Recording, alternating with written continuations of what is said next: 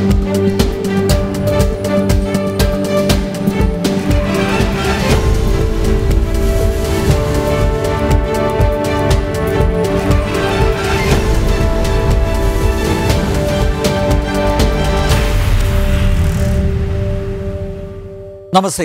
ജനം ഡിബേറ്റിലേക്ക് എല്ലാ മാന്യപ്രേക്ഷകർക്കും സ്വാഗതം. ഭരണഘടനയെ അധിക്ഷേപിച്ച മുൻ മന്ത്രി സജി ചെറിയാനെതിരെ പോലീസ് നടപടിയില്ല.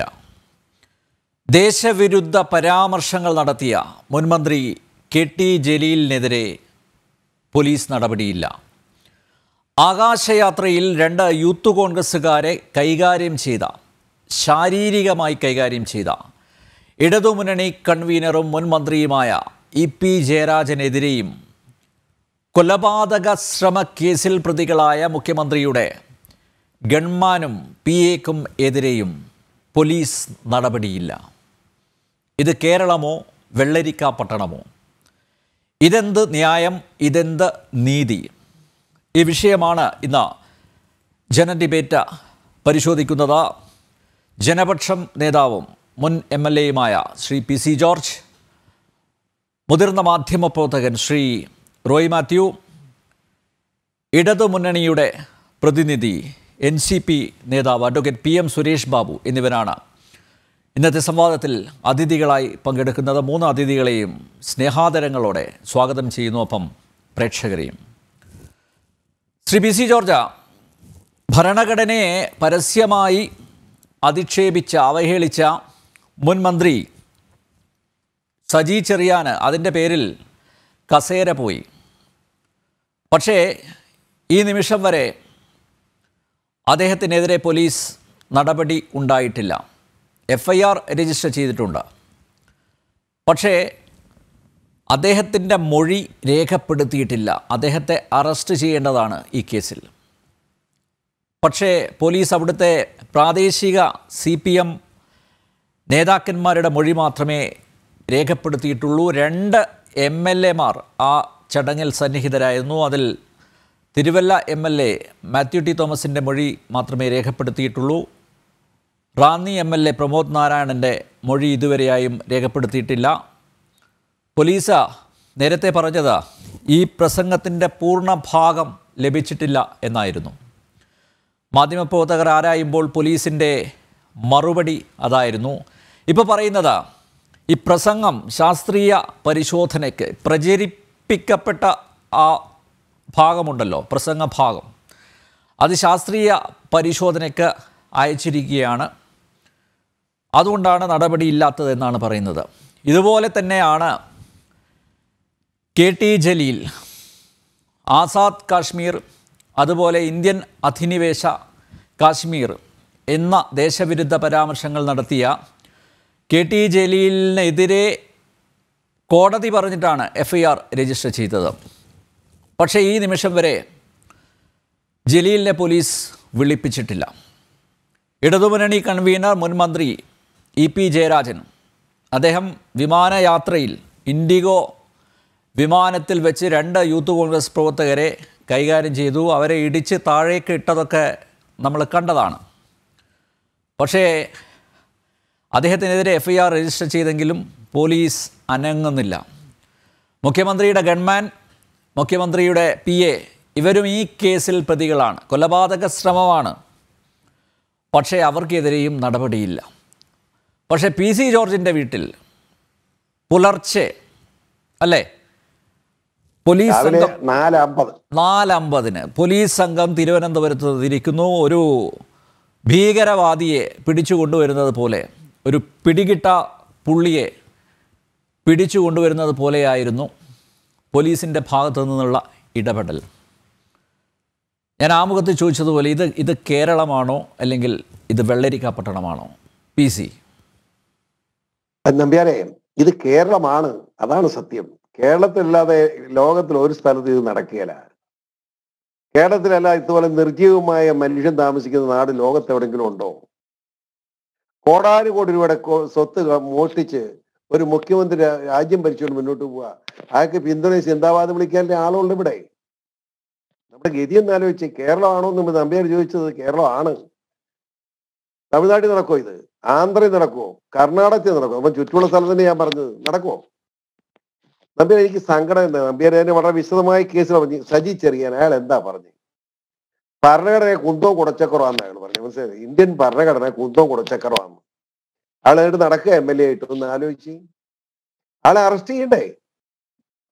പിണറായിക്ക് സൗകര്യമില്ല. ആര് ചോദിക്കും? ആര് ചോദിക്കുന്നില്ലേ പിണറായി ചോദിക്കുന്നു? അടുത്തവൻ K T Jaleel K T ജലീലിനെ പരസ്യമായി തൂക്കിക്കൊള്ളേണ്ടവനാണ് എന്റെ അഭിപ്രായം. ഇന്ത്യ എന്ന് പറയുന്ന മഹത്തായ രാജ്യത്തിന്റെ പൈതൃകം മുഴുവൻ നാറ്റിച്ച് നശിപ്പിച്ച് അതും നിയമസഭയുടെ ഒരു കമ്മിറ്റിയിൽ അംഗമായി കാശ്മീർ ചെന്നിട്ട് ഇങ്ങനെ വൃത്തികെട്ട വർത്തമാനം പറയുന്നത് ആലോചിക്കണം. പാകിസ്ഥാൻ പോലും ഇപ്പൊ പറയാത്ത ഭാഗമാണത്. ഇന്ത്യയുടെ കൈവശം ഇരിക്കുന്ന പ്രദേശം പാക് അധിനിവേശമാണെന്ന് പറയുക ഇന്ത്യൻ അധിനിവേശ പ്രവേശം എന്ന് പ്രദേശം എന്ന് പറയുക കെ ടി എൽ എന്ന് പറഞ്ഞ ഇവൻ മനുഷ്യനാണോ. ഇയാളെ ഒന്നും ഇവ ഇവൻ എന്നല്ല കേട്ടോ പറയുന്നത്. ഇവൻ ഈ വൃത്തികെട്ടവൻ ഇവൻ രാജ്യദ്രോഹിയല്ലേ? എന്നോട് ക്ഷമിക്കണം സുരേഷ് ബാബു ഇങ്ങനെ പറഞ്ഞിട്ട് വന്നതിൽ ഇവനൊരു രാജ്യദ്രോഹിയാണെന്ന് സമ്മതിക്കാതിരിക്കാൻ പറ്റുമോ എന്നിട്ട് അയാൾക്ക് പേര് കേസെടുക്കാൻ മടിക്കുക. എന്തിന്? അയാളെ ചുവന്നു നടക്കുക. എന്തിന്? അടുത്തത് ഇ പി ജയരായൻ പിന്നെ അയാൾ പിന്നെ പോട്ടെ എനിക്ക് സങ്കടമൊന്നുമില്ല. ഇ പി ജയരായൻ ഒരു മണ്ടു വന്ന് നമുക്ക് എല്ലാവർക്കും അറിയാം. പുള്ളി ഒരു പാവ. പുള്ളി എഴുത്തിയാണ് പല അർത്ഥം പിന്നെ മണ്ഡലത്തിലൊക്കെ പറയും. നമ്മുടെ മോമലി നമ്മുടെ ഈ വർക്ക്സ് വീരം മരിച്ചപ്പോൾ തന്നെ കേരളത്തിന് വലിയ നഷ്ടമാണ്. ഇത്രയും നല്ലൊരു ബാസ്കറ്റ് പ്ലെയർ ഇല്ലെന്ന് പറഞ്ഞ ആളാണ് അദ്ദേഹം. അത്രേ ഉള്ളൂ ഇ പി ജയരായൻ അല്ല നമ്മുടെ ഇ പി ജയരാജൻ അദ്ദേഹത്തെ പറ്റി ഒരു പരാതി ഒന്നും പറയണ്ട. പക്ഷെ അദ്ദേഹം ചെയ്ത് കടുത്തതായി. ഇൻഡിഗോ വിമാന കമ്പനി അയാളെ രണ്ടാഴ്ചത്തേക്ക് ഡീബാർ ചെയ്തില്ലേ? മനസ്സിലായില്ലേ? യൂത്ത് കോൺഗ്രസിന്റെ പ്രവർത്തകർ ആക്രമിച്ചു എന്ന് പറയുന്ന അവരെ ഒരാഴ്ചത്തേക്ക് ഇൻഡിഗോ ഇൻഡിഗോ ഒരു സൈഡിലല്ലോ ഒരു സൈഡും ചെയ്തില്ല. ഇ പി ജയരാജൻ രണ്ടാഴ്ചത്തേക്ക്. ആരാ കുറ്റക്കാരൻ? ഇ പി ജയരായൻ ചവിട്ടുന്നത് വളരെ വ്യക്തമായിട്ട് കാണാമല്ലോ. അതായത് മുഖ്യമന്ത്രിയുടെ പി എയും അതുപോലെ തന്നെ ഗവൺമെന്റും ആക്രമിച്ചല്ലോ. അത് എസ് എന്താ വെച്ചാൽ മുഖ്യമന്ത്രി അവിടെ ഇല്ല. ആകെ ചെയ്തു മുഖ്യമന്ത്രി രാജിവെക്കാന്ന് പുറകെ ഇരുന്ന് ഒരു പതുക്കെ പറഞ്ഞു കേൾക്കാൻ പോലും മേല. അത്ര അതിനാണ് ഈ ആക്രമണം നടത്തുമെന്ന് ആലോചിച്ച് ഒരു കേസ് എടുത്തു. എന്തൊരു വൃത്തികേട് ഇത് നമ്പിയാർ ഇതൊക്കെ മനുഷ്യത്വമാണോ? അതൊക്കെ പോട്ടെന്ന് ഇപ്പൊ എന്താ നടന്നോട്ടെ കേരളത്തിൽ? എന്നെ അറസ്റ്റ് ചെയ്ത നമ്പിയാർ എനിക്ക് ചിരി വന്നതിനെന്നറിയാം ഞാൻ ചെയ്ത പാപം ആദ്യം എന്നെ അറസ്റ്റ് ചെയ്ത എനിക്ക് ചിരി വന്നു. സംഭവം എന്താണെന്നറിയോ തിരുവനന്തപുരത്ത് ഒരു ഹിന്ദു മഹാസമ്മേളനം. അതിന്റെ ഉദ്ഘാടകനായിരുന്നു ഞാൻ. ആ ഹിന്ദു മഹാസമ്മേളനത്തിൽ ഹിന്ദുത്വത്തെ പറ്റി അല്ലാതെ ഞാൻ പിന്നെ ക്രിസ്ത്യാനിയെ പറ്റി പറയാൻ പറ്റുമോ ഹിന്ദു മഹാസമ്മേളനത്തിൽ ഇന്ത്യൻ ഇന്ത്യൻ രാജ്യത്ത് ഇന്ത്യ എന്ന് പറയുന്ന മഹത്തായ ഭാരതത്തിലെ ഹൈന്ദവ സംസ്കാരത്തെ പറ്റിയല്ലേ എനിക്ക് പറയാൻ പറ്റൂ? ഹിന്ദുത്വത്തിന്റെ പ്രാധാന്യമല്ലേ പറയേണ്ടത്? ലോകം മുഴുവൻ ഉറ്റുനോക്കുന്ന ഹിന്ദുത്വം എന്ന് പറയുന്ന ആ ആശയത്തെ പറ്റി എന്റെ കാഴ്ചപ്പാട് വെച്ച് ഞാൻ പ്രസംഗിച്ചു. അതിനാണ് എനിക്കെതിരെ കേസെടുത്ത് ഞാൻ ചോദിച്ചു എന്താ കേസ്? രാവിലെ നാലം നാലമ്പലവന് ഞാൻ രണ്ടരയായപ്പം ഒന്ന് കിടന്നുറങ്ങുക. രാത്രി രണ്ടരയായപ്പം ഏറ്റപ്പം ഏറ്റപ്പം സൗണ്ട് ഇട്ട് നോക്കിയപ്പോൾ പോലീസ് ഇങ്ങനെ ചുറ്റും നിൽക്കുക പത്താണൂറ് പോലീസ് ഉണ്ട്. ഞാൻ അവിടെ നിന്നോട്ടെ നമുക്ക് എന്നാട്ട് ഞാൻ കിടന്ന് വീണ്ടും ഉറങ്ങി. ഒരു നാലമ്പതായപ്പം ബെല്ല് ഞാൻ ഏറ്റു വന്ന് നോക്കി. എന്നെ നോക്കി? അപ്പം പോലീസ് ഞാൻ ഇറങ്ങി വന്നത് എന്താ സുഹൃത്തെ വിശേഷം? ഞങ്ങളെ തിരുവനന്തപുരത്ത് വന്നതാണ് അസിസ്റ്റന്റ് കമ്മീഷനാണ്. ഓ എന്ത് വേണം? ഞങ്ങളെ കേസ് കസ്റ്റഡി എടുക്കാൻ വന്നതാണ് ഞങ്ങൾ കസ്റ്റഡി പിടിച്ചു? ഇത് ഞാൻ നിൽക്കുന്നു പിടിച്ചു? കൊണ്ടോണം. ഞാൻ പോയി- പോയി- പോയേക്കാം. ഞാൻ പല്ല് തേച്ചിട്ട് വന്നിട്ട് തേക്കാതെ പറഞ്ഞു. ഇപ്പഴേ പോരാ. നമുക്ക് വേറല്ല അതിന് വിരോധം വല്ലതും ഉണ്ടോ? എന്താ കേസ്?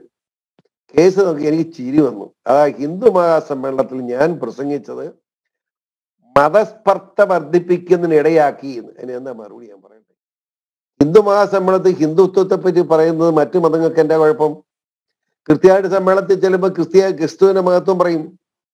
അത് മറ്റുള്ളവർക്ക് എന്നാ കുഴപ്പം മുസ്ലിം സമ്മേളനത്തിൽ ചെല്ലാറുണ്ട്. നബിതിരിമേനെ പറ്റി ഞാൻ വർത്തമാനം പറയും. അത് മറ്റു മതങ്ങൾക്ക് എന്നാ വിഷമം? ഇത് എല്ലായിടത്തും പോകുന്നതിന് എല്ലായിടത്തും ചെയ്യുന്നത്. അതിനാണ് എന്നെ പിടിക്കാൻ വന്നത് സങ്കടം അതല്ല. ഒരു മാന്യം കാണിച്ച പോലീസ്? കുളിച്ച് മര്യാദയ്ക്ക് സന്തോഷമായിട്ട് പോകാമെന്ന് പറഞ്ഞു. ഞാൻ കുളിച്ച് സന്തോഷമായിട്ട് ഷർട്ടും മുട്ടുവിട്ട് ഇറങ്ങി വന്നപ്പോൾ ഞാൻ ചോദിച്ചു നിങ്ങൾ എന്നെ അറസ്റ്റ് ചെയ്തിട്ടുണ്ടോ? ഇല്ല. ഞാൻ അറസ്റ്റ് ചെയ്തിട്ടില്ല എനിക്ക് എന്റെ വണ്ടിയെ വരാം. ഇറങ്ങി എന്റെ വണ്ടിയെ കയറി എന്റെ മകനും കൂടെ ഓടുവന്ന് ചാടി കയറി. അങ്ങനെ ഞങ്ങൾ നേരെ ഇവിടുന്ന് പോവാ. മിന്നലൊരു എട്ട് വണ്ടി പുറമൊരു എട്ട് വണ്ടി പോലീസ് വഴി നീളെ പോലീസ് ഏതായാലും ഒരു ഗുണം കിട്ടി. ഇത് വാർത്തയായതോടുകൂടി ഇവിടെ മുതൽ തിരുവനന്തപുരം വരെ ബി ജെ പിയുടെ ആർ എസ് എസിന്റെയും പ്രവർത്തകർ വഴി നീളെ പുഷ്പവൃഷ്ടിയായിരുന്നു അങ്ങനെ ഒരു സംഭവം ഉണ്ട്. എനിക്ക് തന്നെ സങ്കടം തോന്നി. ആ പാവങ്ങൾ രാവിലെ മുതൽ ഇറങ്ങി നിന്നല്ല ഇത് ചെയ്യുന്നത്. ഏതായാലും തിരുവനന്തപുരത്ത് വട്ടപ്പാറ ചെന്നപ്പോഴത്തേന് ഒരു പത്ത് നൂറ്റമ്പത് ആർ എസ് കാരണം വണ്ടി തടഞ്ഞു. പോലീസ് കിടന്ന് വിഷമിച്ചു. എന്നെ എങ്ങോട്ട് കൊണ്ടുവന്ന് പറഞ്ഞിട്ട് കൊണ്ടുപോകാൻ പറഞ്ഞു. ആർ എസ് അത്ര സ്ട്രോങ് ആയിരുന്നു. അപ്പൊ ഞാൻ പോലീസ് എന്റെ കാലപ്പെടുത്തുക സംഘർഷം ഒഴിവാകാൻ. ഞാൻ പിന്നെ നല്ല വാക്കോ ഞാൻ പൂക്കോട്ടെ എന്ന് പറഞ്ഞ് അങ്ങനെ വിട്ടു. പക്ഷെ എനിക്ക് ഇന്ത്യൻ നീതിപീഠത്തോട് വലിയ ബഹുമാനമുണ്ട്. കൊണ്ടുവന്ന് എന്നെ കൊണ്ടുവന്ന് പോലീസ് പോലീസ് അവിടെ കൊണ്ടുപോയത്. പോലീസ് ക്വാർട്ടേഴ്സ് അല്ല നമ്മുടെ ഈ കെ പി ക്യാമ്പിൽ ക്യാമ്പിൽ ചെന്നപ്പോൾ അവിടെയുള്ള പോലീസ് ഉദ്യോഗസ്ഥന്മാർ മുഴുവൻ എന്നെ ഇങ്ങനെ കൈ കാണിക്കുക. അവരെല്ലാം എന്റെ ഭാഗത്ത് ശരിയെന്ന് വിശ്വസിക്കുന്നു ഞാൻ മനസ്സിലാക്കി. പിണറായി വെറുതെ വഴക്കുണ്ടാക്കിയതൊക്കെ വല്ല കാര്യം കേട്ടോ. അവിടുന്ന് എന്റെ പൊന്ന് നമ്പിയാരെ അവിടുന്ന് ഒരു പന്ത്രണ്ടേ മുക്കാലായപ്പോഴത്തെ എന്നെ ചോദിച്ചുകൊണ്ട് പോവുക ഞാൻ എങ്ങോട്ടാന്ന് ചോദിച്ചു. കോടതിയിലോട്ട്. ആയിക്കോട്ടെ. എനിക്ക് വിരോധമില്ലല്ലോ.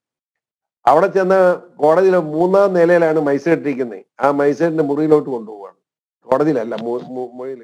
കാരണം അന്ന് ഞാൻ പ്രത്യേകം എന്നാന്ന് വെച്ചാൽ ഈ അവധിയാ രണ്ടു ദിവസത്തേക്ക്. അപ്പൊ ഡിമാൻഡ് ചെയ്താൽ രണ്ടു മൂന്ന് ദിവസം കഴിഞ്ഞ് പിന്നെ അപ്പീലോ അപ്പീൽ പോലും കൊടുക്കാൻ പറ്റുള്ളൂ. അതാണ് ഉദ്ദേശം. മൂന്നാൽ അവിടെ ചെന്നപ്പോൾ തന്നെ മൈസൂട്ട് വളരെ മാന്യായ ഒരു സ്ത്രീയാണ്. ഒരു പത്ത് മുപ്പത് മുപ്പത്തഞ്ച് വയസ്സുകളില്ലാത്ത ഒരു ചെറുപ്പക്കാരിയാണ്. എന്താണ്ടോ വിശേഷം എന്ന് ചോദിച്ചാൽ ഒരു വിശേഷമില്ല. എന്തിനാ നിരത്തിൽ എന്നെ പിടിച്ചോണ്ട് വന്നിരിക്കുകയാണ്? കാര്യം പോലും എന്നോട് പറഞ്ഞിട്ടില്ല.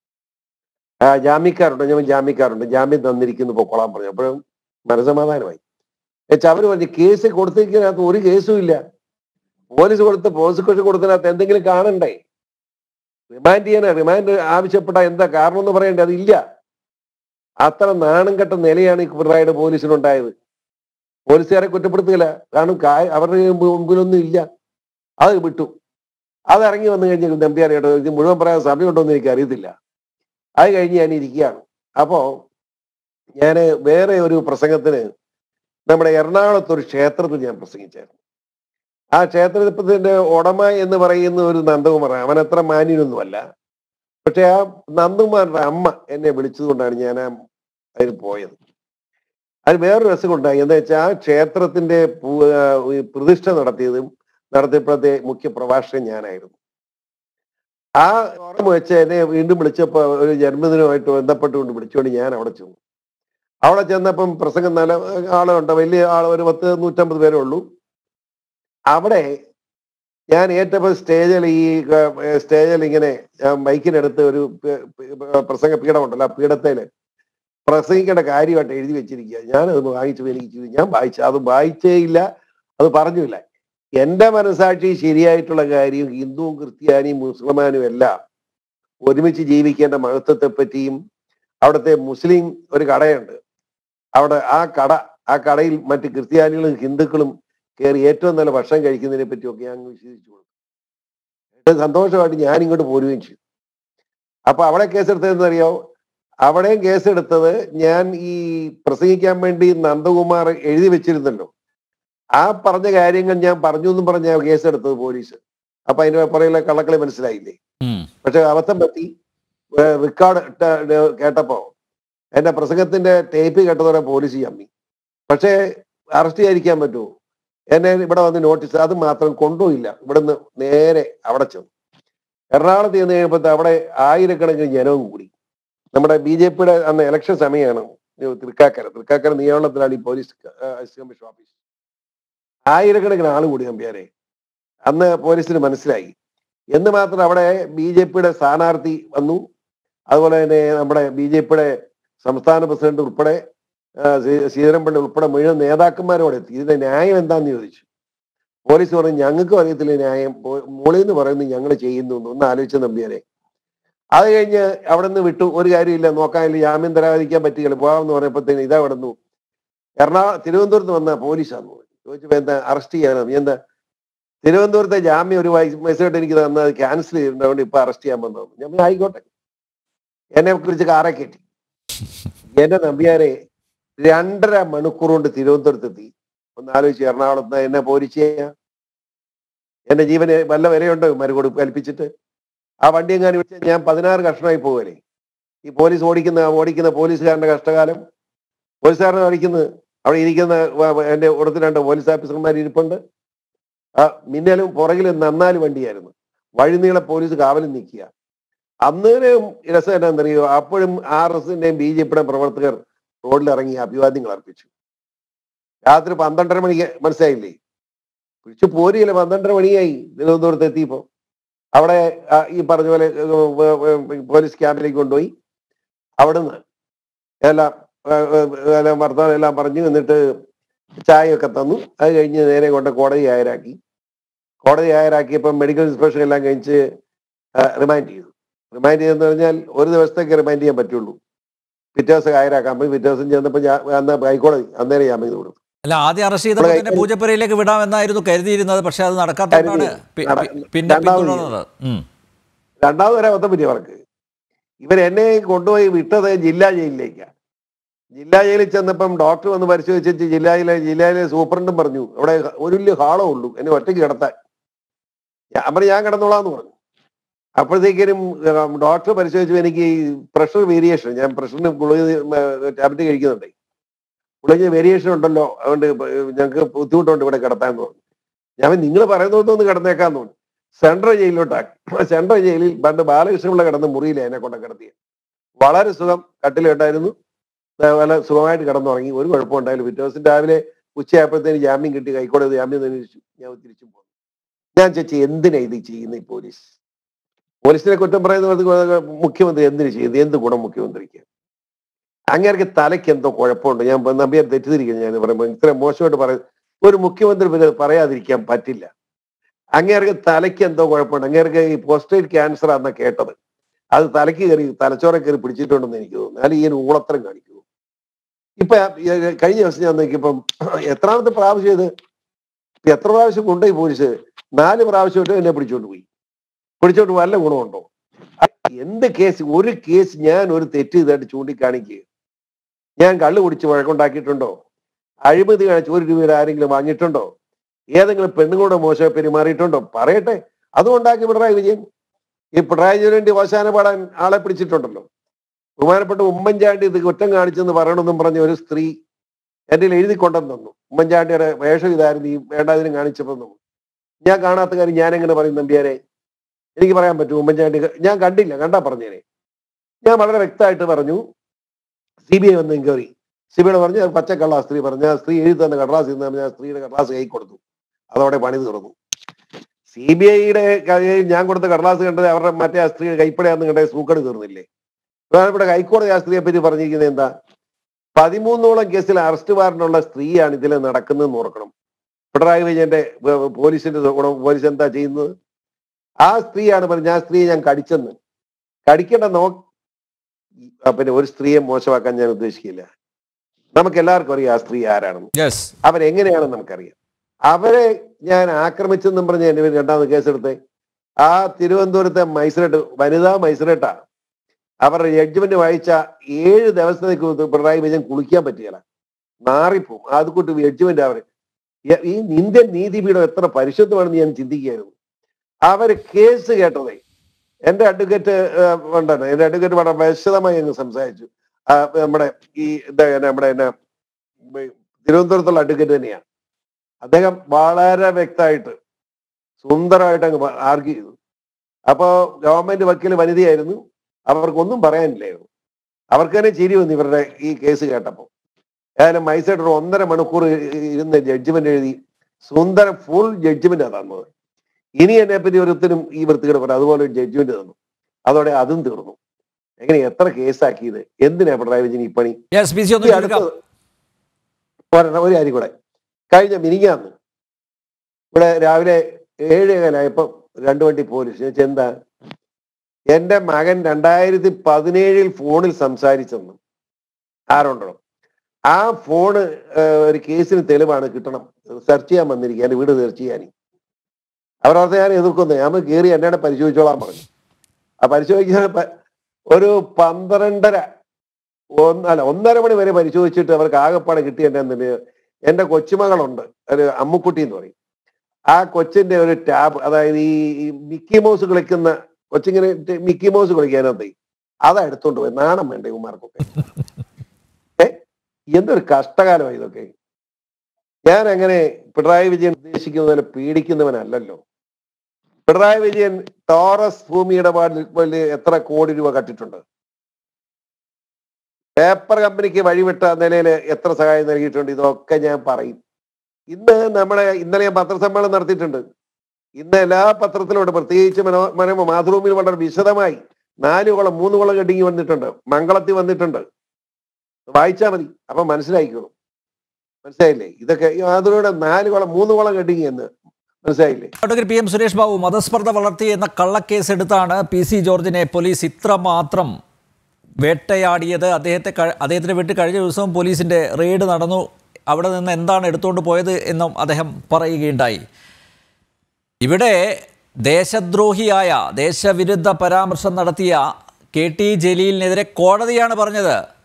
കേസെടുക്കണം എന്ന്. എഫ് ഐ ആർ ഇട്ടു. അതിന് അപ്പുറത്തേക്ക് പോലീസ് പോയില്ല. ഇത് വിവേചനമല്ലേ advocate P M Suresh Babu?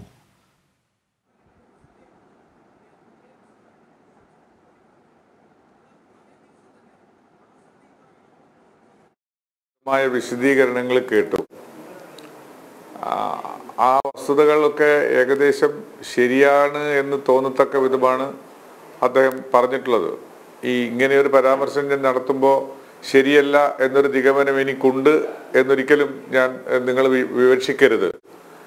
അതൊരു ഒരു വിശദീകരണം കേട്ടപ്പോൾ സത്യത്തിൽ അതിനകത്തൊരു വെണ്ടേറ്റ നിലനിൽക്കുന്നുണ്ട് എന്ന് തോന്നുന്നു. വെണ്ടേറ്റ നിലനിൽക്കുന്നുള്ളത് ഒരു ജനാധിപത്യ രാജ്യത്ത് നിയമ നീതി നിയമ വ്യവസ്ഥ നിലനിൽക്കുന്ന ഒരു പ്രദേശത്ത് ഒരിക്കലും പാടില്ലാത്തതാണ്. ഒരു കാര്യം ഗവൺമെന്റിനോ പോലീസിനോ അദ്ദേഹം ഇത്തരം ചില ദേശവിരുദ്ധ നടപടികൾ ക്ഷമിക്കണം മതസ്പർദ്ധ ഉണ്ടാക്കുന്ന നടപടികൾ ചെയ്തിട്ടുണ്ട് എന്ന് തോന്നിയാൽ അല്ലെങ്കിൽ എന്ന് എന്ന നിലക്കൊരു കേസ് വന്നാൽ ആ കാര്യത്തിൽ ഒരു തീർപ്പ് കൽപ്പിക്കാൻ ആവശ്യമായ നടപടികൾ സ്പീഡായി ചെയ്യേണ്ടതാണ് വേഗത്തിൽ ചെയ്യേണ്ടതാണ്. പൊതുപ്രവർത്തന രംഗത്ത് നിൽക്കുന്ന ഒരു നേതാവാണ് ശ്രീ പി സി ജോർജ്. അദ്ദേഹത്തിന്റെ പേരിൽ കേസെടുക്കാം. കേസെടുക്കാതിരിക്കുന്ന കേസ് കേസുള്ളത് കാണ്- ഏഹ് എടുക്കേണ്ടതാണെങ്കിൽ കേസെടുക്കാം. പക്ഷേ അതിങ്ങനെ അനന്തമായി നീട്ടിക്കൊണ്ടുപോവുക ഒരു കേസിന് പുറമെ മറുകേസുകൾ ഉണ്ടാവുക അങ്ങനെ തുടങ്ങിയതൊക്കെ സംഭവിക്കുമ്പോൾ സ്വാഭാവികമായും ആളുകൾക്കും വ്യക്തിക്കും ഒക്കെ തോന്നുന്നത് അതൊരു വ്യക്തിഗതമായ പകപോക്കലിന്റെ ഒരു ഭാഗമാണ്. ഒപ്പം തന്നെ അത് ഭരണകൂടം അല്ലെ ഭരണത്തിന്റെ ആളുകൾ ചെയ്യുന്ന വ്യക്തിഗതമായ വിരോധത്തിന്റെയോ വ്യക്തിഗതമായ ദേഷ്യം തീർക്കലിന്റെയോ ഭാഗമാണെന്നൊക്കെ വിവക്ഷിക്കാൻ ഇടയാകുന്നുണ്ട്. പോലീസ് അതൊക്കെ ശ്രദ്ധിക്കേണ്ടതാണ്. പോലീസിന്റെ നടപടി ഒരിക്കലും ഗവൺമെന്റിനെ ചീത്തയാക്കാൻ പറ്റുന്ന നടപടികളിൽ ആകരുത്.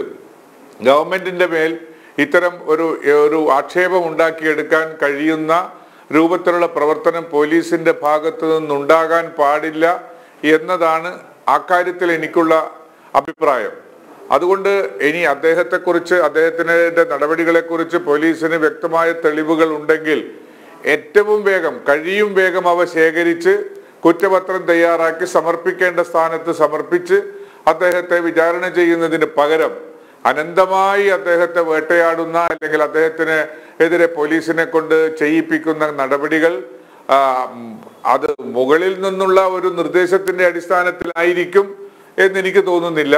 അങ്ങനെ ഒരു ഒരു ഒരു എനിക്കങ്ങനെ നിഗമനത്തിലെത്താൻ എന്റെ ഭാഗത്ത് ഏതെങ്കിലും ഒരു ന്യായീകരണം എന്റെ ഇല്ല പക്ഷേ മുകളിലുള്ള യജമാനന്മാരെ തൃപ്തിപ്പെടുത്താൻ യുക്തമാണ് ഇതൊക്കെ എന്ന് തോന്നിയിട്ട് ഏതെങ്കിലും ചില ഉദ്യോഗസ്ഥന്മാരാണ് അത് ചെയ്യുന്നതെങ്കിൽ അവരെ നിലയ്ക്ക് നിർത്താൻ അവരെ നേർവഴിക്ക് കൊണ്ടുവരാൻ ഭരണകൂടത്തിന്റെ ആളുകൾ തയ്യാറാകണമെന്നതാണ് ആ കാര്യത്തിൽ എനിക്കുള്ള അഭിപ്രായം. അല്ല വക്കീലെ ഇതിൽ പി സി ജോർജിന്റെ കാര്യത്തിൽ വളരെ കണിശത പുലർത്തി ഏ? പക്ഷേ എന്തുകൊണ്ട് സജി ചെറിയാന്റെയും കെ ടി ജലീലിന്റെയും അതുപോലെ ഇ പി ജയരാജന്റെയും മുഖ്യമന്ത്രിയുടെ പേഴ്സണൽ സ്റ്റാഫിലെ രണ്ട് അംഗങ്ങളോടും എന്തുകൊണ്ട് ആ സമീപനം കാണിക്കുന്നില്ല. അവരെന്താ ഈ നിയമത്തിന് അതീതരാണോ? അവർക്കെന്താ കൊമ്പുണ്ടോ? അല്ല അവർ അവരെ പേരിലും കേസുണ്ടല്ലോ. അവരെ പേരിലും കേസ് ഇങ്ങനെ വലിച്ചു നീട്ടപ്പെടുകയാണ്. കേസ് ഇങ്ങനെ വലിച്ചു നീട്ടപ്പെടുകയാണ് സജി ചെറിയാന്റെ പേരിൽ. സജി ചെറിയാന്റെ പ്രസംഗം എന്താണെന്നുള്ളത് കേൾക്കുകയും ആ പ്രസംഗത്തിലെ പിന്നെ ദേശവിരുദ്ധ പരാമർശങ്ങൾക്കെതിരെ കേസുണ്ടെങ്കിൽ ചാർജ് ഷീറ്റ് കൊടുക്കുകയും ചെയ്യാവുന്നതാണ് അതിങ്ങനെ നീട്ടിക്കൊണ്ടുപോകുന്നു. വിളിപ്പിക്കണ്ടേ? അല്ലേ? പോലീസ് പോട്ടെ. ഒരു മുൻമന്ത്രി എന്ന പരിഗണന വെച്ച് അവിടെ പോയെങ്കിലും മൊഴിയെടുക്കണ്ടേ? എന്തുകൊണ്ട് അതുണ്ടാവുന്നില്ല? ഇവിടെ ഏറ്റവും വലിയ രസം E P Jayarajan E P ജയരാജന്റെ മർദ്ദനത്തിന് വിധേയരായ രണ്ട് യുവാക്കളിൽ ഒരാളായ ഫർസാൻ മജീദ് യൂത്ത് കോൺഗ്രസിന്റെ നേതാവാണ് പ്രാദേശിക നേതാവാണ്.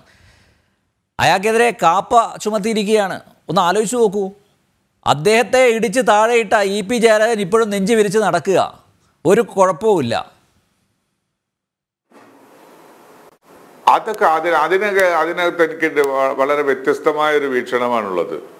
അത് കേരളത്തിന്റെ മുഖ്യമന്ത്രി ആ വിമാനത്തിൽ യാത്ര ചെയ്യുമ്പോൾ പെട്ടെന്ന് പതിമൂവായിരം രൂപ കൊടുത്ത് ടിക്കറ്റ് വാങ്ങി രണ്ടോ മൂന്നോ പേർ അതിനകത്ത് കയറി മുദ്രാവാക്യം വിളിച്ച് മുഖ്യമന്ത്രിയുടെ അടുത്തേക്ക് വരുമ്പോൾ വരുന്നു എന്ന് വന്നാൽ അതിനകത്ത് എന്തെങ്കിലും ഒരു ഗിൽറ്റി ഇന്റൻഷൻ ഉണ്ടെന്ന് പ്രസ്യൂം ചെയ്യാൻ വേറെ ഒന്നും തോന്നേണ്ടെന്ന് കാര്യമില്ല. വിമാനത്തിൽ കയറി വന്ന് വിമാനത്തിൽ ആയുധങ്ങളുമായിട്ട് കയറാൻ പറ്റുമോ advocate advocate P M Suresh Babu ആയുധങ്ങളുമായിട്ട് കയറാൻ പറ്റുമോ ഇവിടെ വെടിയുണ്ടയുമായിട്ട് പോയ ഒരാളുണ്ട് പണ്ട്. അറിയാലോ? വിമാനത്തിൽ വെടിയുണ്ടയുമായിട്ട് പോയ ഒരാളുണ്ട്. അദ്ദേഹം ഇന്ന് നമ്മുടെ മുഖ്യമന്ത്രിയാണ്. വെടിയുണ്ട ആസ് സച്ച് ഒരു ആയുധമല്ല. അത് തോക്കുണ്ടാകുന്നു മാത്രമേ ആയുധമാകുന്നുള്ളൂ അത് വേണ്ട അല്ല അല്ല അത് അത് വേറെ. നമുക്ക് അതിലേക്ക് വേറെ ഞാൻ അതിലേക്ക് തന്നെ വരാം. ഇവിടെ ഈ രണ്ട് ഈ രണ്ട് ചെറുപ്പക്കാർ കൊണ്ടുപോയത്? ഈ രണ്ട് ചെറുപ്പക്കാർ മുഖ്യമന്ത്രിയെ കൊല്ലാൻ വേണ്ടി എന്ത് ആയുധമാണ് കൊണ്ടുപോയത്? അവരുടെ ശരീരത്തിൽ കൈയുണ്ടല്ലോ. കൈ കൊണ്ടടിച്ചാലും ഇന്ത്യൻ ശിക്ഷാ നിയമത്തിൽ ശിക്ഷ ശിക്ഷക്ക് ശിക്ഷിക്കപ്പെടേണ്ടുന്ന അടിക്കാൻ മുഖ്യമന്ത്രി അവിടെ വേണ്ടേ? മുഖ്യമന്ത്രി ഇറങ്ങിയ ശേഷമല്ലേ ഇത് നടക്കുന്നത്. അവർ പ്രതിഷേധം പ്രതിഷേധം എന്ന് പറയുന്നതാണോ ഇത്ര വലിയ തെറ്റ്? മുഖ്യമന്ത്രിയുടെ മുഖ്യമന്ത്രി മുഖ്യമന്ത്രിയുടെ അടുത്തേക്ക് ഓടിപ്പോവുകയല്ലേ? അവിടെ നിർത്തതല്ലേ അത്? അല്ലെങ്കിൽ എന്താ സംഭവിക്കുക? മുഖ്യമന്ത്രിയുടെ അടുത്തേക്ക് ഇവർ ഓടുകയല്ലേ? അത് ആ- ആ ഭാഗത്തെ ന്യായീകരിക്കാൻ ശ്രമിക്കാതിരിക്കുന്നതാണ് എനിക്ക് യുക്തിസഹമായിട്ട് തോന്നുന്നത്. കാരണം അത് ഒരു ഒരു പ്ലാൻഡ് ആയിട്ടുള്ള ഒരു നടപടിയാണ്. അല്ല പക്ഷെ അത് പോട്ടെ. അവിടെ നിൽക്കട്ടെ. ആ രണ്ട് ചെറുപ്പക്കാരെയും ജയിലിൽ അടച്ചു ജയിലിൽ അടച്ചു അവരെ റിമാൻഡ് ചെയ്ത് ജയിലിൽ അടച്ചു മുഖ്യമന്ത്രിയെ കൊലപ്പെടുത്താൻ ശ്രമിച്ചു എന്നാണല്ലോ കേസ്. അങ്ങനെയാണെങ്കിൽ അവർക്ക് പെട്ടെന്ന് ജാമ്യം കൊടുക്കുമോ കൊലപാതക ശ്രമക്കേസിൽ ഇത്രയും പെട്ടെന്ന് ഹൈക്കോടതി ജാമ്യം കൊടുക്കുമെന്ന് തോന്നുന്നുണ്ടോ? അല്ല അത് ചാർജ് ഷീറ്റ് എഴുതിയതിന്റെ തകരാറുകളൊക്കെ തന്നെയാണ്. ചാർജ് ഷീറ്റ് എഴുതിയതിന്റെ തകരാറൊക്കെ തന്നെയാണ്. പോലീസിന് അതേ ചാർജ് ഷീറ്റ് ഷീറ്റാണ് അതേ ചാർജ് ഷീറ്റാണ് അതേ എഫ് ഐ ആർ ആണ് ഇ പി ജയരാജനെതിരെയും മുഖ്യമന്ത്രിയുടെ ഗൺമാനും പി എക്കുമെതിരെ ഇട്ടത്. എന്നിട്ട് എന്തുകൊണ്ടാ പോലീസ് അറസ്റ്റ് ചെയ്യാത്തത് അവരെ? ഇത് നോൺ ബെയിലബിൾ ഒഫൻസ് അല്ലേ? ജാമ്യമില്ല വകുപ്പുകൾ ചാർത്തിയല്ലേ? കേസെടുക്കേണ്ടത് അറസ്റ്റ് ചെയ്യേണ്ടത് അവരെ?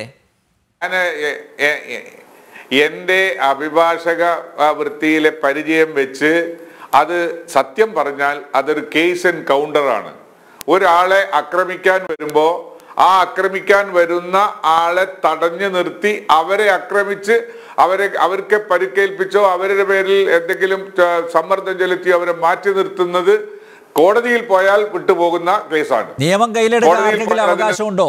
E P Jayarajan E P Jayarajan E P Jayarajan ഇവരെ കൈകാര്യം ചെയ്ത് ശരിയാണ് എന്ന അഭിപ്രായമുണ്ടോ? അവരെ ഇടിച്ചിടുകയായിരുന്നില്ലേ? ആ രണ്ട് ചെറുപ്പക്കാർ താഴെ വീഴുന്നത് നമ്മൾ കണ്ടതല്ലേ? അതിനെല്ലാത്തിനും വ്യാഖ്യാനങ്ങൾ നമ്മൾ ഉണ്ടതല്ലോ അത് നമുക്ക് ഓരോരുത്തർക്കും ഓരോരുത്തരുടേതായ പിന്നെ ആശയങ്ങൾക്കനുസരിച്ച് അത് വ്യാഖ്യാനിക്കാം. അതിന് ഞാൻ അതിനകത്ത് ഒരു ഒരു കുറ്റം കാണുന്നില്ല. പക്ഷെ എന്നെ സംബന്ധിച്ചിടത്തോളം ഞാൻ എനിക്ക് മനസ്സിലാക്കിയിട്ടുള്ള ഞാൻ മനസ്സിലാക്കിയിട്ടുള്ള വിവരം വെച്ച് മുഖ്യമന്ത്രിക്കെതിരെ മുദ്രാവാക്യം വിളിച്ച് മുഖ്യമന്ത്രിയുടെ നേരെ പാഞ്ഞെടുക്കുമ്പോൾ അത് തടഞ്ഞു നിർത്തി. തടഞ്ഞു നിർത്തിയപ്പോൾ തടഞ്ഞ് ഇവർ റെസിസ്റ്റൻസ് കാണിച്ചിട്ടുണ്ട് കാണാം.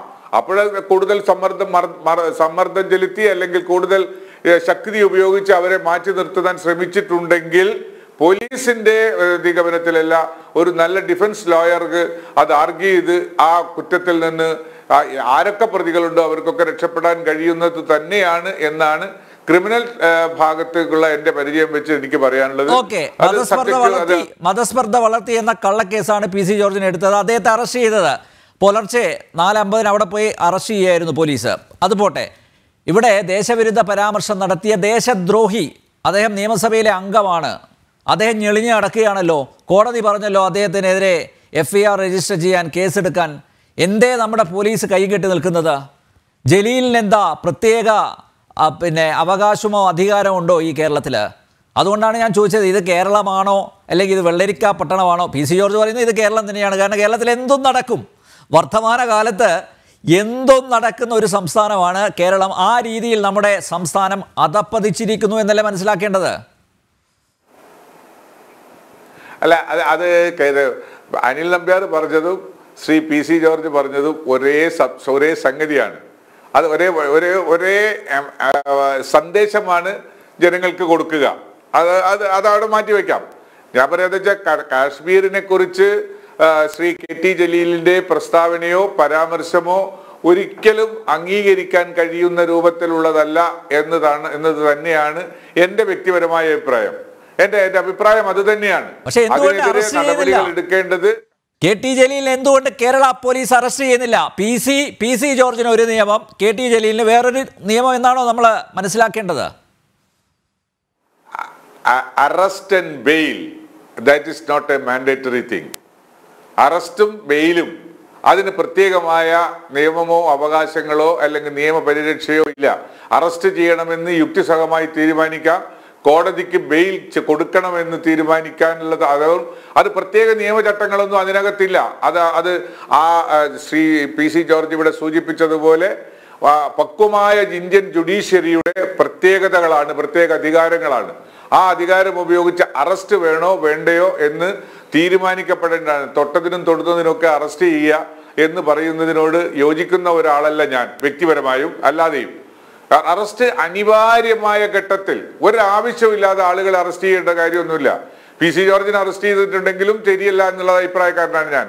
അദ്ദേഹത്തോട് ഹാജരാകാൻ പറഞ്ഞാൽ അദ്ദേഹം ഹാജരാകും അദ്ദേഹം ഈ ഒരു വസ്തുത പേടിച്ച് കേരളം വിട്ട് ഇന്ത്യ രാജ്യം വിട്ട് പാസ്പോർട്ട് എടുത്ത് പുറത്തു പോകുന്നൊന്നും വിചാരിക്കുന്ന ഒരാളെ അല്ല ഞാൻ. അറസ്റ്റ് ഒരു എസെൻഷ്യാലിറ്റി എന്ന് വെച്ചാൽ നിയമത്തെ മറികടക്കാൻ ഒളിവിൽ പോവുകയോ മറ്റു കാര്യങ്ങളൊക്കെ ചെയ്യുകയോ ചെയ്യുന്ന ഒരു അവസ്ഥയിൽ ഉണ്ടാകുന്ന ഒരു ഒരു ഒരു പ്രത്യേക പ്രത്യേകമായ പോലീസിനുള്ള അധികാരമാണ് അറസ്റ്റ്. അറസ്റ്റ് എല്ലാത്തിനും ഒരു ഒരു ഒരു എന്താ പറയണ്ട ഒരു മുൻവിധിയോ അതല്ലെങ്കിൽ അനിവാര്യമായ നിയമപരിപാടിയോ അല്ല. ഇപ്പൊ പോലീസ് ചെയ്തുകൊണ്ടിരിക്കുന്നത് കേരളത്തിലായാലും ഇന്ത്യയിലായാലും വേറെ ഇവിടെ മറ്റിടത്തുകളിൽ നിന്നൊക്കെ ഗുജറാത്തിലും മറ്റ് മധ്യപ്രദേശിലും ഒക്കെ ഒരു രാമരാജ്യമാണെന്നൊന്നും വിചാരിക്കാൻ നമുക്കാർക്കും കഴിയില്ല. അവിടെയും ഇതൊക്കെ നടക്കുന്നുണ്ട്. അവിടെ നടക്കുന്നതുകൊണ്ട് ഇവിടെ നടക്കുന്നതിനെ ന്യായീകരിക്കുന്നു എന്ന് തോന്നരുത്. ഞാൻ ഒരിക്കലും ഇല്ല. അവിടെയും നടക്കും പശ്ചിമ ബംഗാളിൽ നടക്കുന്നത് എന്താ? തൊട്ടതിനും തൊടുന്നതിനും ഒക്കെ അറസ്റ്റും പിടുത്തവും ഒക്കെ അല്ലേ? അപ്പോൾ അറസ്റ്റ് എന്ന് പറയുന്നത് ഒരു ഭരണകൂടത്തിന്റെ ഒരു ആയുധമാക്കി മാറ്റുന്നതിനോട് വിയോജിക്കുന്ന ഒരാളാണ് ഞാൻ. യെസ് പക്ഷെ എന്തായാലും രാജ്യദ്രോഹികളെ ഇങ്ങനെ ഞെളിഞ്ഞു നടക്കാൻ നമ്മുടെ കേരളത്തിൽ അനുവദിക്കരുത് എന്ന ഒരു ഒരു ഒരു അഭിപ്രായം ഉണ്ട് വക്കീലെ.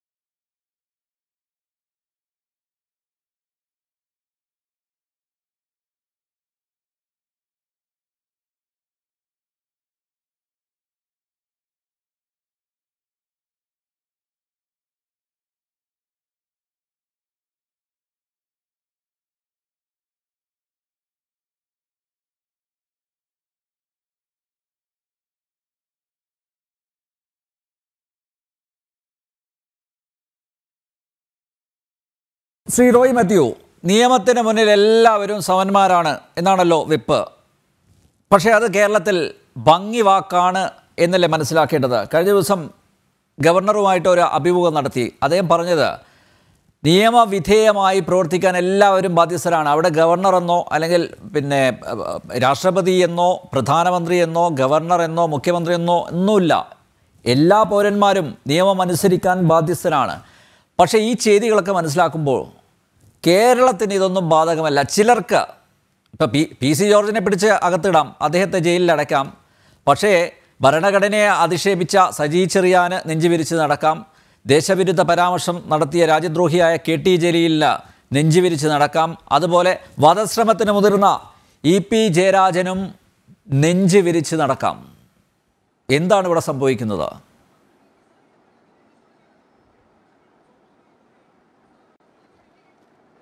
അനിലെ നമ്മളിപ്പോൾ ഈ ചർച്ച നടത്തുന്ന സമയത്ത് ഞാനിപ്പോൾ ടെലിവിഷൻ ചാനലിൽ ഒരു വാർത്ത സ്ക്രോൾ പോകുന്ന കണ്ടത് അല്പം മുമ്പ്. സി പി ഐയുടെ ഇടുക്കി ജില്ലാ സമ്മേളനം നടക്കുകയാണ്. അവിടുത്തെ പ്രതിനിധികൾ സംസാരിച്ചതിനകത്ത് ഒരു പ്രധാന വാർത്തയാണ് ചാനലുകളിൽ പോയത്. അതായത് കേരളത്തിലെ ആഭ്യന്തര വകുപ്പ് കുത്തഴിഞ്ഞൊരു പുസ്തകം പോലെയാണെന്നും അതിന്മേൽ ആർക്കും നിയന്ത്രണമില്ലെന്നും പോലീസിന്റെ തോന്നിവാസമാണ് നടക്കുന്നതെന്നുമാണ് ആ വാർത്തയിൽ പറഞ്ഞത്. അപ്പോൾ ഇതാണ് നിലനിൽ ഈ സംസ്ഥാനത്ത് നിലനിൽക്കുന്ന യാഥാർത്ഥ്യം. ഈ യാഥാർത്ഥ്യം നിലനിൽക്കുമ്പോഴാണ് നമ്മളിപ്പോൾ ഈ ചർച്ചകളൊക്കെ നടത്തുന്നത്. നിയമത്തിന് മുമ്പിൽ നമ്മൾ ഭംഗിവാക്ക് പോലാണ് കേരളത്തിൽ പറയേണ്ടത് വരും. നിയമത്തിന് മുമ്പിൽ ഇവിടെ കേരളത്തിൽ ഇപ്പോൾ സി പി എം ഭരിക്കുമ്പോൾ അങ്ങനെ എല്ലാവരും തുല്യരാണെന്ന് തോന്നുന്നില്ല. ഞാൻ പി സി ജോർജിന്റെ നിലപാടുകളോട് നിങ്ങൾക്ക് വിയോജിക്കാം. പി സി ജോർജിന്റെ രാഷ്ട്രീയ ചായ്വുകളെ നിങ്ങൾക്ക് വിമർശിക്കാം. അതിലൊന്നും തെറ്റൊന്നുമില്ല. പി സി ജോർജ് പറയുന്ന എല്ലാവരും അംഗീകരിക്കണമെന്നുമില്ല. അത് പി സി ജോർജും ആഗ്രഹിക്കുന്നില്ല. പക്ഷേ നിങ്ങൾ പി സി ജോർജിനെ എന്റെ നിലപാടുകളെ എതിർക്കുക എന്നുള്ള മട്ടിൽ ഒരാളെ വേട്ടയാടുക എന്നുള്ളൊരവസ്ഥയാണ് നമ്മൾ കണ്ടുകൊണ്ടിരിക്കുന്നത്. അതാണ് അത് തികച്ചും എന്താ പറയുക ഒരു അനാരോഗ്യ നമ്മുടെ ജനാധിപത്യത്തിലെ ഒരു അനാരോഗികമായ പ്രവണതയാണ്. അത് നിയമത്തെ വളച്ചൊടിക്കുകയും സൗകര്യം പോലെ ഓരോരുത്തരെ വേട്ടയാടുകയും ചെയ്യുന്നു എന്നുള്ളത് മാത്രമേ ഉള്ളൂ. ഈ നമ്മുടെ ഉള്ള ചർച്ചയിൽ ഇപ്പോൾ പങ്കെടുക്കുന്ന advocate P M Suresh Babu P C ജോർജിനെ കുറിച്ച് പറഞ്ഞതിനകത്ത് ഒരു അദ്ദേഹം ഒരു വാക്ക് എടുത്തു പറഞ്ഞു. അതായത് പോലീസ് അല്ലെങ്കിൽ സർക്കാർ പി സി ജോർജിനോട് വെൻഡേറ്റയായി പെരുമാറുന്നു. അതായത് വെൻഡേറ്റ എന്ന് പറഞ്ഞാൽ എന്താണ്? കുടിപ്പക. കുടിപ്പക പോലെ പെരുമാറുന്നു എന്നൊരു തോന്നൽ സാധാരണക്കാരുടെ ഇടയിലുണ്ടല്ലോ. പി സി ജോർജ് ആരും ആയിക്കോട്ടെ. പി സി ജോർജ് ഈ രാജ്യത്തെ ഒരു പൗരനാണ്. നികുതി കൊടുത്ത് നിയമം അനുസരിച്ച് ജീവിക്കുന്ന ഒരു സാധാരണ പൗരൻ. അദ്ദേഹത്തിനെതിരെ ഇത്തരത്തിലൊരു പെരുമാറ്റം ഉണ്ടാകുന്നത്. അദ്ദേഹത്തിനെതിരെ ആർക്കും എതിരെ ഉണ്ടായിക്കൂടാ? നിങ്ങൾ നിയമത്തിന് മുമ്പിൽ സമന്മാരാണോ എന്ന് പറയുമ്പോൾ നിയമത്തിന് മുമ്പിൽ സമന്മാരല്ല എന്നാണ് ഈ രണ്ട് ഉദാഹരണം നമ്മുടെ മുമ്പിൽ നിൽക്കുന്നത്. അതായത് ഒന്ന് സജി ചെറിയാന്റെ പ്രസംഗം. പ്രസംഗം ഭരണഘടനയിലെ കുന്തവും കുടച്ചക്രവും എന്ന് പറയുന്ന വളരെ അധിക്ഷേപകരമായ പരാമർശം. രണ്ടാമത്തേത് കാശ്മീരിനെ കുറിച്ചുള്ള കെ ടി ജലീലിന്റെ പ്രസ്താവന. ഈ രണ്ട് ഈ ഇത് സർക്കാരിന്റെ സർക്കാരോ അല്ലെ നീതി നടപ്പാക്കണമെന്ന് വിചാരിച്ച് കേരള പോലീസ് എടുത്ത കേസല്ല. അങ്ങനെ തെറ്റിദ്ധരിക്കണ്ട. അതായത് തിരുവല്ല കോടതിയിൽ ആദ്യം ഒരു അഭിഭാഷകൻ സജി ചെറിയാനെതിരെ കേസ് കൊടുക്കുന്നു. അതിന്റെ കോടതിയുടെ നിർദ്ദേശപ്രകാരമാണ് കീഴ്വായ്പൂർ പോലീസ് കേസെടുക്കുന്നത് സജി ചെറിയാനെതിരെ. ആ സമ്മേളനം നടന്ന പ്രദേശം ജൂലൈ മൂന്നാം തീയതി അവിടെ നടന്ന സമ്മേളനത്തിന്റെ പ്രസംഗത്തിന്റെ അടിസ്ഥാനത്തിലാണ് കേസെടുക്കുന്നത്. അതേപോലെ തന്നെ ജലീലിനെതിരെ കേസെടുത്ത ആരാണ്? ആർ എസ് എസിന്റെ ഒരു പ്രാദേശിക നേതാവ് കൊടുത്ത തിരുവല്ല കോടതിയിൽ കൊടുത്തൊരു കേസിന്റെ അടിസ്ഥാനത്തിലാണ് അതും കീഴ്വായ്പൂർ പോലീസ് കേസെടുക്കുന്നത്. അപ്പോൾ കേസെടുക്കുക എന്ന് പറയുന്നത് പോലീസ് നിയമം നടപ്പാക്കുകയാണെങ്കിൽ ഇവിടെ എത്രയോ കേസുകളിൽ സുവോമോട്ടോ കേസെടുക്കുന്നു. ഇല്ലേ? പി സി ജോർജിന്റെ പ്രസംഗം ആരുടെയും പരാതിയുടെ പേരിലാണോ? പോലീസ് സുവോമോട്ടോ ആണ് ഈ രണ്ട് കേസും എടുത്തത്.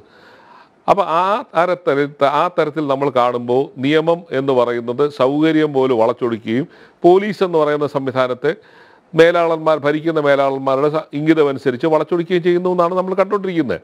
നിങ്ങൾ നീതി നടപ്പാക്കുകയാണെങ്കിൽ എല്ലാവർക്കും തുല്യമായ രീതിയിൽ രാജ്യത്തെ നിയമം എല്ലാവർക്കും ബാധകമാകണം. അതിപ്പോൾ രാജ്യദ്രോഹ കുറ്റം ചെയ്തവർക്കായാലും അല്ലെങ്കിൽ വേറൊരു തരത്തിലുള്ളവർക്കായാലും നിങ്ങൾ നിയമം നടപ്പാക്കുകയാണെങ്കിൽ ഒരുപോലെ ആകണം.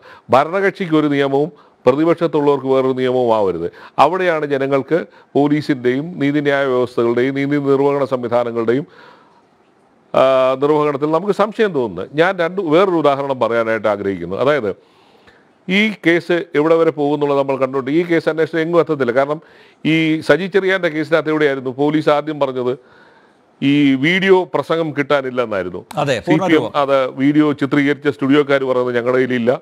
അവിടെ പങ്കെടുത്തവർ പറയുന്നത് ഞങ്ങളുടെ കയ്യിലില്ല.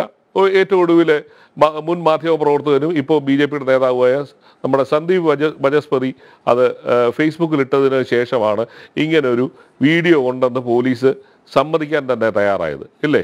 എന്നിട്ട് ഇപ്പോൾ പറയുന്ന അതിന്റെ ശാസ്ത്രീയ പരീക്ഷണം നടക്കട്ടെ ശാസ്ത്രീയ പരീക്ഷണമൊക്കെ ചെയ്തതിന് ശേഷം എടുത്താൽ മതി. പക്ഷേ നിങ്ങൾക്ക് ആവശ്യമുള്ളപ്പോൾ നിങ്ങൾ ശാസ്ത്രീയ പരീക്ഷണം ശാസ്ത്രീയ പരീക്ഷണം വേഗത്തിലാക്കുകയും പെട്ടെന്ന് തന്നെ നടപ്പിലാക്കുകയും ചെയ്യുന്നുണ്ട്. അപ്പോൾ ഇനി ഈ ഇത്തരത്തിലൊരു ഈ കേസിന്റെ ഈ പിന്നെ മുന്നോട്ടുള്ള ഗതിക്ക് അനുസൃതമായി എത്ര നാൾ എടുക്കും ശാസ്ത്രീയ പരീക്ഷണം? അത് തന്നെ. അതൊന്ന്. രണ്ട് ജലീലിന്റെ കാര്യത്തിലും ജലീലിന്റെ കാര്യത്തിലും ഈ പോലീസിന്റെ ഈ പിന്നെ മെല്ലെ മെല്ലെപ്പോക്ക് നമ്മൾ കണ്ടതാണ്. എവിടെ വരെ പോകുന്നു എന്നുള്ളതാണ്. ഇതുവരെ പോലും പിന്നെ ഈ പ്രതിയെ ചോദ്യം ചെയ്യാനോ അല്ലെങ്കിൽ അതിന് മൊഴിയെടുക്കാനോ ഒന്നും തയ്യാറായിട്ട് രണ്ട് പേർ രണ്ട് ഭാഗത്തും നടക്കുക. രണ്ട് കേസ് അന്വേഷണം നടന്ന ഒരേ ഡിവൈഎസ്പി ആണെന്നുള്ള കാര്യം ശ്രദ്ധിച്ചോണം. അപ്പോൾ അവിടൊക്കെയാണ് പോലീസിന്റെ കൈകാലുകൾ കെട്ടിയിട്ടിരിക്കുകയാണ്. പോലീസ് അതുകൊണ്ട് തന്നെ കൃത്യമായി അന്വേഷിക്കുമെന്ന് നമുക്ക് പ്രതീക്ഷയൊന്നും വേണ്ട. ഞാൻ പറയാൻ വന്ന വേറൊരു കാര്യം.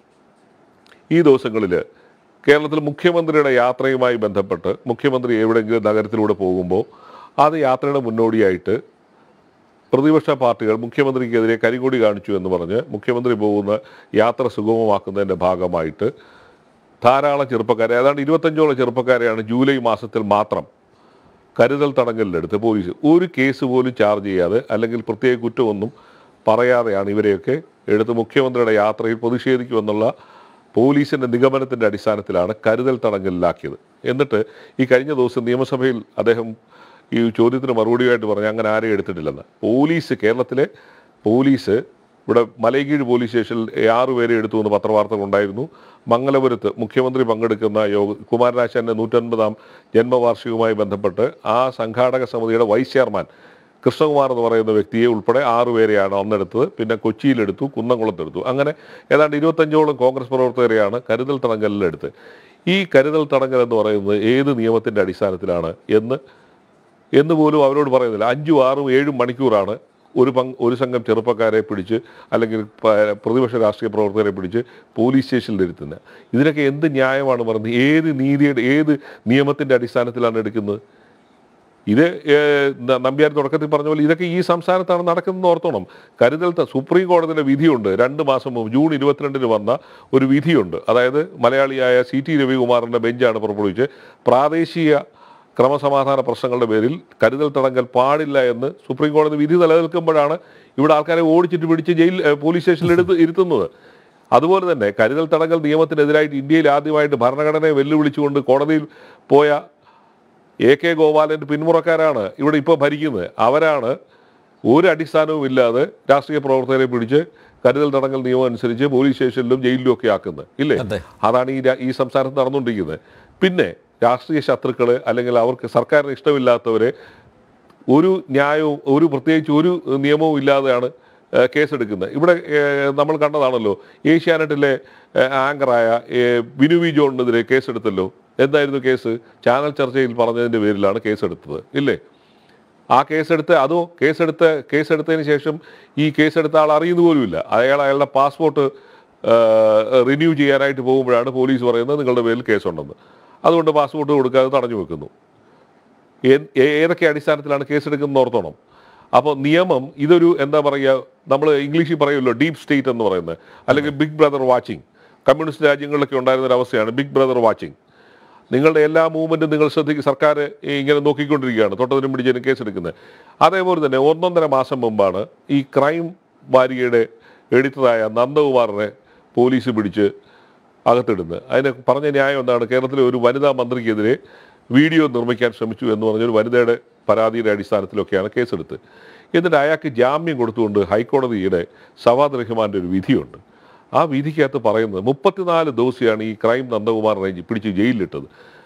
പറയുന്നത് പോലീസ് കൊണ്ടുവന്ന ഈ ആരോപണങ്ങളിൽ ഒന്നിനു പോലും തെളിവ് ഹാജരാക്കാൻ സാർ പോലീസിന് കഴിഞ്ഞിട്ടില്ല പ്രോസിക്യൂഷന് കഴിഞ്ഞിട്ടില്ല എന്നാണ് പറയുന്നത്.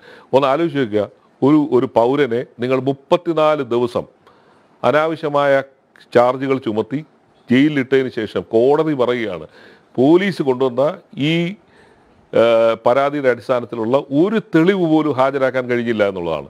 അടുത്ത പി എം സുരേഷ് ബാബു എന്തായാലും ജനങ്ങൾ ഇതൊക്കെ കാണുകയാണ്. മാത്രമല്ല കൂടെ നടക്കുന്നവർ പോലും കുറ്റപ്പെടുത്തുകയാണ്. ആഭ്യന്തര വകുപ്പ് കുത്തഴിഞ്ഞ പുസ്തകമാണെന്ന് പറയുന്നു ഈ രാഷ്ട്രീയ പ്രതിയോഗികളെ കേസിൽ കൊടുക്കുന്നു. അത് ഗുരുതരമായിട്ടുള്ളൊരു പരാമർശം തന്നെയല്ലേ? ഗുരുതരമായിട്ടുള്ള ഒരു ആരോപണമാണ്. അതുകൊണ്ടാണ് ഞാൻ പറഞ്ഞത് പി സി ജോർജിനെതിരെയുള്ള പോലീസ് നടപടിയൊക്കെ മനസ്സിലാക്കിക്കൊണ്ടായിരിക്കാം ഒരുപക്ഷെ സി പി ഐയുടെ ഇടുക്കി ജില്ലാ സമ്മേളനത്തിൽ അത്തരമൊരു വിമർശനം ഉയർന്നത്. ഇത് ശരിയാണോ? Advocate P M Suresh Babu ഇപ്പോൾ ഇടതുമുന്നണിയിലെ ഘടകകക്ഷികളാണ് നിങ്ങളൊക്കെ. സി പി ഐയുടെ എല്ലാ ജില്ലാ സമ്മേളനങ്ങളിലും സർക്കാരിനെ വിമർശിക്കുന്നുണ്ട്. പക്ഷേ എ കെ ജി സെന്ററിൽ ഇടതുമുന്നണി യോഗം നടക്കുമ്പോൾ മുഖ്യമന്ത്രിയോ അല്ലെങ്കിൽ സർക്കാരിനെയോ വിമർശിക്കാനുള്ള പ്രാപ്തി സി പി ഐയുടെ ഉത്തരവാദപ്പെട്ട നേതാക്കൾക്ക് ഇല്ലാതെ പോകുന്നു. അവിടെയും മുഖ്യമന്ത്രി പിണറായി വിജയനെ പേടിക്കുകയാണ്. അതല്ലേ ശരി? നേരത്തെ താങ്കൾ പറഞ്ഞു മുകളിൽ നിന്നുള്ള നിർദ്ദേശം അനുസരിച്ച് തന്നെയാണ് പോലീസ് പ്രവർത്തിക്കുന്നത്. പോലീസിൽ നല്ല ഉദ്യോഗസ്ഥരുണ്ട്. നമുക്ക് അവരെ തള്ളിക്കളയാൻ പറ്റില്ല. പക്ഷേ കൃത്യമായ നിർദ്ദേശത്തിന്റെ അടിസ്ഥാനത്തിലല്ലേ പി സി ജോർജിനെ പോലെയുള്ളവരെ കൈകാര്യം ചെയ്യുന്നത്? അത് വ്യക്തമല്ലേ?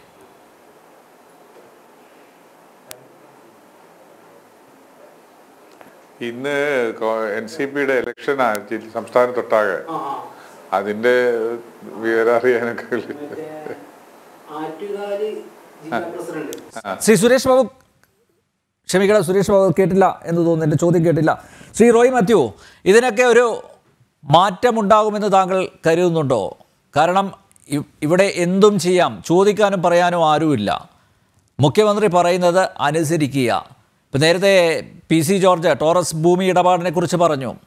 അവിടെ റവന്യൂ മന്ത്രിയെ നോക്കുകുത്തിയാക്കിയിരിക്കുകയാണ്. എല്ലാ വകുപ്പുകളിലും കൈകടത്താനുള്ള പൂർണ അധികാരം മുഖ്യമന്ത്രിക്കുണ്ട്. അദ്ദേഹം അതനുസരിച്ച് പ്രവർത്തിക്കുന്നു. അദ്ദേഹത്തിനെതിരെ ഇടതുമുന്നണിയിലെ ഘടകകക്ഷികൾ തന്നെ ആക്ഷേപം ഉന്നയിക്കുന്നുണ്ട്. പക്ഷേ എ കെ ജി സെന്ററിലെത്തുമ്പോൾ എല്ലാവരും അത് മറക്കുകയാണ്. കൂട്ടുത്തരവാദിത്തത്തോടെ പ്രവർത്തിക്കുന്നു എന്നാണ് പൊതുസമൂഹത്തെ കാണിക്കുന്നത്. പക്ഷേ ഇതിനൊക്കെ തടയിടാൻ ആരെങ്കിലും ആർജവം കാണിക്കേണ്ടതല്ലേ? ആരെങ്കിലും മുന്നോട്ട് വരേണ്ടതല്ലേ? ഇപ്പോൾ പോലീസിനെ കൊണ്ടൊരു കാര്യവുമില്ല. കോടതി പറഞ്ഞാലേ പോലീസ് സി പി എം ഇടത് നേതാക്കന്മാരൊക്കെ പ്രതികളായിട്ടുള്ള കേസുകളിൽ എന്തെങ്കിലും നടപടിയെടുക്കുകയുള്ളൂ എഫ് ഐ ആർ ഇടണമെങ്കിൽ പോലും കോടതിയെ സമീപിക്കേണ്ടി വരുന്ന ഒരു അവസ്ഥ. ഒരു ജനാധിപത്യ സംവിധാനത്തിൽ ഇതൊക്കെ ഭൂഷണമാണോ?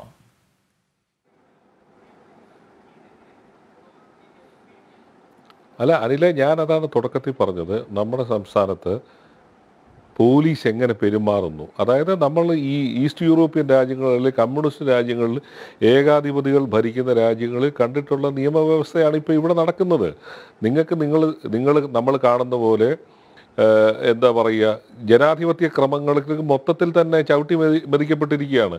ആർക്കെതിരെയാണ് കേസെടുക്കാം? നിങ്ങൾക്ക് ഏത് തരത്തിൽ വേണേലും പോലീസ് നിങ്ങൾക്കെതിരെ തിരിയാം.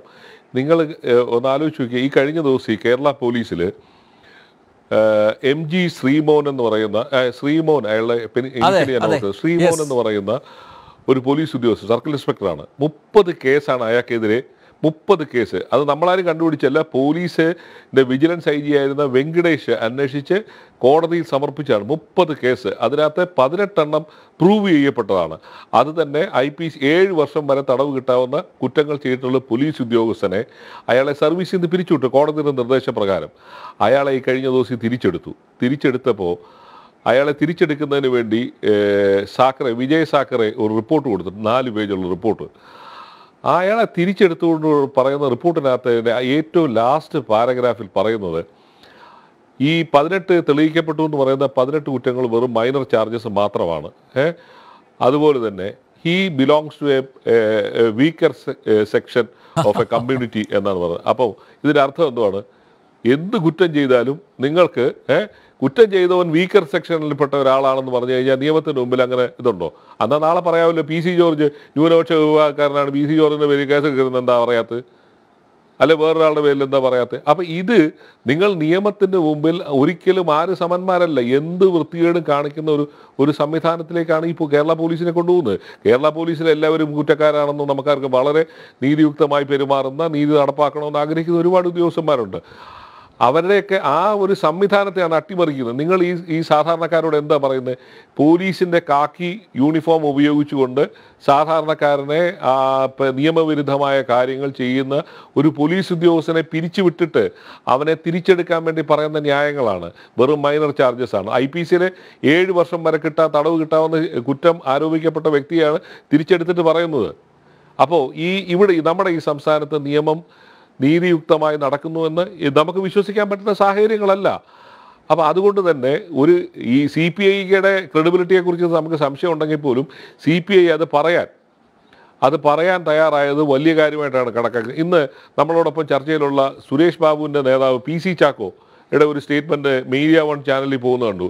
അതായത് എൽ ഡി എഫിൽ ഘടകകക്ഷികളുമായി ഒരു വിഷയത്തെക്കുറിച്ച് ചർച്ചകളില്ല. ചർച്ചകൾ നടന്ന C P I C P M മാത്രമാണ്. ബാക്കി എല്ലാവരും കാഴ്ചക്കാരായി നിൽക്കുന്നു എന്നാണ്. അപ്പം ഇവരുടെ ഇടയിൽ തന്നെ ഇത്തരത്തിലുള്ള ചർച്ചകളുണ്ട്. പക്ഷേ ഇവർക്കാർക്കും കുരയ്ക്കാൻ മാത്രമേ കഴിയുന്നുള്ളൂ. കടിക്കാൻ കഴിയാത്ത ഒരു അവസ്ഥയിലാണ് ഈ പാവങ്ങളെല്ലാം നിൽക്കുന്നത്. ഇത് ആ അപ്പം ആ ഒരു സാഹചര്യത്തിൽ നീതി നടപ്പാക്കണമെന്ന് ഇവിടെ പ്രതിപക്ഷ പാർട്ടികൾ പറയുന്നുണ്ട്. ഇല്ലാന്നൊന്നുമല്ല. പക്ഷേ ഇത് എവിടേക്കാണ് നമ്മുടെ സംവിധാനങ്ങളെ കൊണ്ടുപോകുന്നത്? അതാണ് യാഥാർത്ഥ്യം. ഡെമോക്രസി ഉണ്ടോ എന്ന് ചോദിച്ചാൽ ഡെമോക്രസി ഇല്ലാത്തൊരവസ്ഥയിലാണ്. നമ്മുടെ സിസ്റ്റം. ഈ കഴിഞ്ഞ ദിവസം തന്നെ ഏറ്റവും നമ്പ്യാരുടെ ഇന്റർവ്യൂവിലാത്ത പറഞ്ഞിട്ടുണ്ടാവും എന്ന് എനിക്ക് തോന്നുന്നു. ഞാൻ എന്റെ തുടക്കം മാത്രമേ കണ്ടുള്ളൂ. ആ ഗവർണർ പറയുന്നത് കേട്ടില്ലേ? ഒരു നീതിരഹിതമായ കാര്യം ചെയ്യാൻ മുഖ്യമന്ത്രി അതായത് കണ്ണൂർ. വി സിയെ നിയമിക്കുന്ന കാര്യത്തിൽ മുഖ്യമന്ത്രി തന്നെയാണ് അദ്ദേഹത്തിന് മേൽ സമ്മർദ്ദം ചെലുത്തി എന്ന് പറയുന്നു. ഗവർണർ അതിന് വഴിപ്പെട്ടത് ഗവർണർ കുറ്റക്കാരനാണ്. പക്ഷേ ഒരു നിയമം നടപ്പാക്കണമെന്ന് താല്പര്യമുള്ള ഒരു മുഖ്യമന്ത്രിയാണ് ഗവർണറോട് പറയുന്നത് ഇദ്ദേഹം എന്റെ എന്റെ സ്റ്റേറ്റ് എന്റെ ജില്ലയിൽപ്പെട്ട ആളായതുകൊണ്ട് എങ്ങനെങ്കിലും അങ്ങേർക്ക് ഒരു തവണ കൂടി എക്സ്റ്റൻഷൻ കൊടുക്കണം. അത് ഗവർണർ പിന്നീടാണ് സമ്മതിക്കുന്നുണ്ട് ഞാൻ ചെയ്തത് തെറ്റായി പോയിന്ന്. പക്ഷേ നിങ്ങൾ ഈ തെറ്റായ കാര്യം മാത്രം ചെയ്യുന്ന ഒരു സംവിധാനമാണ് പ്രവർത്തിക്കുന്നതെന്ന് നമുക്ക് തോന്നും. തോന്നുകയല്ല നമുക്ക് ആ ധാരണ ഉണ്ടായിട്ടുണ്ട്. അതുകൊണ്ട് തന്നെയാണല്ലോ പ്രിയ വർഗീസിനെ പോലുള്ളവർക്കൊക്കെ സെലക്ഷൻ കിട്ടുന്നത്. മെറിറ്റ് അല്ല ഇവിടെ കാര്യം.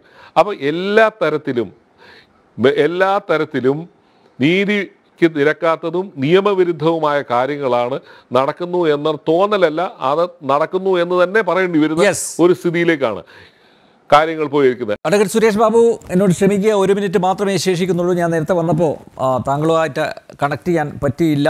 ഈ കുത്തഴിഞ്ഞ സംവിധാനത്തിന്റെ ഭാഗമായതിൽ കുറ്റബോധമുണ്ടോ? സി പി ഐ ഇപ്പോൾ വിളിച്ചു പറഞ്ഞു തുടങ്ങിയിട്ടുണ്ട്.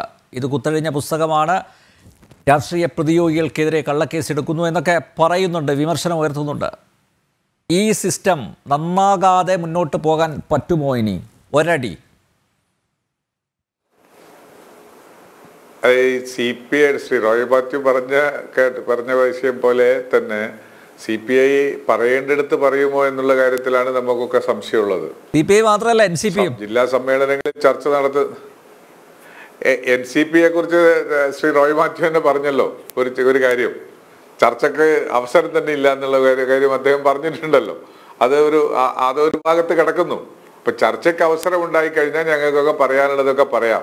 പക്ഷെ ഒരു സംവിധാനത്തിൽ ഒരു രാഷ്ട്രീയ സംവിധാനത്തിൽ ഞങ്ങൾ ഒരു പാർട്ടി കാണിക്കേണ്ടുന്ന മര്യാദകൾ പാലിച്ചുകൊണ്ട് പ്രവർത്തിക്കുകയാണ്. തിരുത്തപ്പെടേണ്ടതാണ്. ഭരണകക്ഷിയെ ഭരണക ഭരണത്തിലിരിക്കുന്നവരെ അവരുടെ തെറ്റുകൾ ചൂണ്ടിക്കാണിക്കപ്പെടുക എന്നത് അവരെ ഇല്ലാതാക്കാനല്ല അതിനെ നേർവഴിക്ക് നയിക്കാനാണ് എന്ന ഉന്നതമായ രാഷ്ട്രീയ സങ്കല്പം ഉൾക്കൊള്ളാൻ ഭരണത്തിൽ ഇരിക്കുന്ന എല്ലാ കക്ഷികളും തയ്യാറാകണം. അതിൽ നിന്ന് പാഠം പഠിച്ചാൽ ജനങ്ങൾ പിന്നീട് അവരെ രക്ഷിക്കും ശിക്ഷിക്കുകയില്ല എന്നതുകൂടി മനസ്സിലാക്കുന്നതായിരിക്കും എല്ലാ ഭരണത്തിൽ ഇരിക്കുന്ന ആളുകൾക്കും. അത് തിരുവനന്തപുരത്തിരിക്കുന്നവർക്കും ഡൽഹിയിൽ ഇരിക്കുന്നവർക്കും ഒരുപോലെ ബാധകമായിട്ട് എനിക്ക് തോന്നുന്നത്. യെസ് എന്തായാലും നിയമത്തിന് മുന്നിൽ എല്ലാവരും സമന്മാരാണ്. നിയമം എല്ലാവർക്കും ഒരുപോലെ ബാധകമാണ്. പോലീസ് മുഖം നോക്കാതെ കൊടിയുടെ നിറം നോക്കാതെ നടപടിയെടുക്കാൻ ശ്രമിക്കുക. ജനൻ ഡിബേറ്റ് ഇവിടെ പൂർണമാകുന്നു ചർച്ചയിൽ പങ്കെടുത്ത മൂന്ന് അതിഥികൾക്കും നന്ദിയൊപ്പം പ്രേക്ഷകർക്കും.